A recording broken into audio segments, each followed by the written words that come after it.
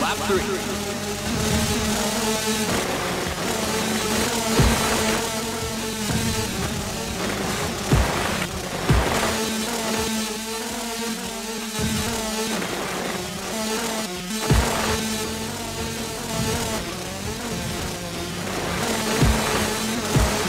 Sugar Hill! That's a new track record! Sarah Sugar Hill with the checkered flag.